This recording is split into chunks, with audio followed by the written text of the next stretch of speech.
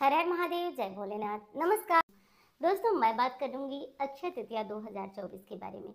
अक्षय तृतीया का पर्व जो कि बहुत महत्वपूर्ण होता है दोस्तों, जैसे दिवाली होती है, धनतेरस होती है, ठीक वैसे ही अक्षय तृतीया होती है। गर्मियों की धनतेरस भी इसे कहते हैं तो बहुत ज़्यादा महत्वपूर्ण है दोस्तों अक्षय तृतीया का यह पर्व। अक्षय तृतीया का यह पर्व जो है, वो मई में 10 मई को मनाया जाएगा। अक्षय तृतीया विशेष इसलिए भी हो जाता है क्योंकि इस दिन की की गई खरीदारी वृद्धि कराती है और इसलिए आज के दिन कुछ विशेष चीज़ें लाना है। अगर सोना चांदी लाते हैं तो अति उत्तम, नहीं लाते हैं तो मैं कुछ चीज़ें बता रही हूँ जिनको कि आप लोग ज़रूर कर लीजिएगा। अब चलिए जान लेते हैं अक्षय तृतीया की वो विशेष बातें जिसे बताने के लिए मैं आज यहाँ सबसे पहले जान लेते हैं अक्षय तृतीया की पूजा विधि। दोस्तों, अक्षय तृतीया पर परशुराम जयंती भी मनाई जाती है। ऐसे शास्त्र की मान्यता है कि गंगा अवतरण भी पृथ्वी पे आज के दिन ही हुआ था। और आज के दिन जो है, परशुराम जी की पूजा करना बहुत ज़्यादा फ़ायदेमंद है। परशुराम जी की पूजा घर में की जाती है, क्योंकि वो भगवान विष्णु के अवतार माने जाते हैं। तो परशुराम जी की पूजा यदि करते हैं, ये बहुत कम जगह पे होती है, फिर भी मैं बता दे रही हूँ। बाकी स्थानों पे लक्ष्मी नारायण की पूजा होती है सत्यनारायण भगवान की कथा भी कराई जाती है। तो यदि आप अपने से खुद पे घर भी करना चाहते हैं तो मैं वो विधि बता देती हूँ क्या और कैसे करेंगे।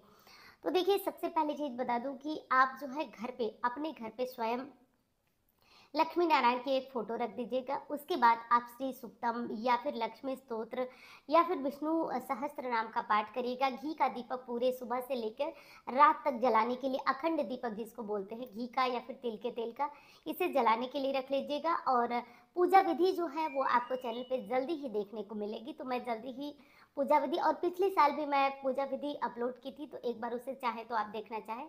तो अक्षय तृतीया की पूजा विधि भी देख लीजिएगा। तो सामान्य पूजा विधि है, ऐसा कुछ नहीं है। मेन चीज़ है ना कि आज के दिन दान ज़्यादा किया जाता है। मिट्टी का मटका पानी भर के दान किया जाता है। मतलब जल पात्र का दान बहुत शुभ होता है। तो ये कर सकते हैं। और पूजा विधि में मुख्य चीज़ है लक्ष्मी नारायण की पूजा। जो सीजनल फ्रूट होते हैं, जैसे कि इस समय नाशपाती आती है, ककड़ी आती है, खीरे आते हैं, ठंडे जो फल आते हैं सब कुछ चढ़ाया जाता है, सबको दान किया जाता है। और विशेषकर दोस्तों, लक्ष्मी आराधना बहुत अधिक महत्वपूर्ण है। तो वो लोग ज़रूर कर लें और बाकी थी, वो मैंने बताया। अब मैं बताती हूँ कि और कौन से पाँच कार्य ज़रूर करना चाहिए। पाँच कार्यों में पहली चीज़ है कि अगर अक्षय तृतीया पे सोना खरीद के लाते हैं तो वो बहुत अच्छा होता है। क्योंकि देखिए हर कोई चाहता है कि मेरे घर में सोने की वृद्धि हो आ, सोना चांदी मतलब ये एक मान्यता है हमारी कि घर में बरकत आती है घर में समृद्धि आती है हम अंदर से मज़बूत होते हैं अगर हमारे घर में ज्वेलरीज वगैरह होती हैं तो। तो सोना खरीदना वैसे शुभ होता है लेकिन कोई नहीं खरीद पाता है तो कम से कम एक चांदी का चम्मच ले लीजिए एक बिछुआ तो ले ही सकते हैं तो आप इसे ले लीजिएगा।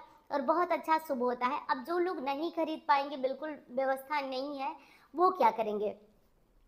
तो देखिए, मैं उनके लिए पहले बता देती हूँ कि जो लोग पोटली संख या माला तीनों में से कोई भी चीज़ ले रहे हैं तो वो चमत्कार है दोस्तों। मैं यहाँ चैनल पे कह रही हूँ। ऐसे लोग जिनके घर में राशन बिना समय ही खत्म हो जाता है तो वो लोग क्या करें कि आज राशन वाला एक पात्र लाए, एक चावल, एक आटे का डब्बा लाए।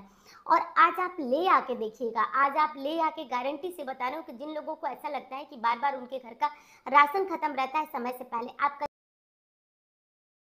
ये करिएगा और आज के दिन राशन का दो डब्बा खरीद कर लाइएगा और उसमें नीचे स्वास्तिक बनाकर आज ही कुछ राशन, कुछ चावल, कुछ आटा भर के देखिएगा। कहा, वो पात्र अक्षय बन जाएगा। बहुत कम, देखिए, ये कलयुग है। ऐसा तो नहीं हुआ कि आप उसमें डाले नहीं, केवल निकालते जाएँ। लेकिन हाँ आप जो है उसको बचत संयम के साथ खाएँगे, वो चीज़ें आपके शरीर को लगेंगी और बहुत जल्दी जल्दी, जैसे कि मान लीजिए की होंगी, लेकिन जो लोग इन चीज़ों को नहीं ले सकते हैं, वो कर ले, या फिर जिनको और भी चीज़ें मतलब अच्छा करके रखना है जीवन में, वो लोग भी कर सकते हैं। तो पहली चीज़ है कि लक्ष्मी जी की आराधना, कोई भी, जैसे श्री सुक्तम कनक धारा स्त्रोत्र का पाठ, कम से कम ज़्यादा मात्रा में करिएगा, ग्यारह बार, सोलह बार ऐसे करिएगा, तब इसका प्रभाव देखिएगा आप लोग। दूसरी चीज़, आज चने की दाल खरीद कर अपने घर ज़रूर लाएँ। थोड़ा ज़्यादा मतलब अपने भंडारे में मिला के रखिए और ये चने की दाल जो है कोशिश करिएगा कि इसमें भरते थोड़ा रहे, तभी ला के भरते रहेगा पूरे साल के लिए आप अपना जो खाद्यान्न है वो कम मत होने दीजिएगा। थोड़ा थोड़ा इसको भरते रहिएगा। आज के दिन आप जैसे देखिए ये बहुत छोटी बात है, आप पात्र ज़रूर लाइएगा। आप देखिएगा इसका चमत्कार क्या होता है जीवन में। तीसरी चीज़ बताती हूँ दोस्तों कि आज जो है, आप एक काम और करिएगा। आज आंवले के वृक्ष के नीचे एक घी का दीपक ज़रूर लगाइएगा। आंवले के वृक्ष के नीचे घी का दीपक लगाने से आज साक्षात माँ लक्ष्मी आपके घर में निवास करेंगी।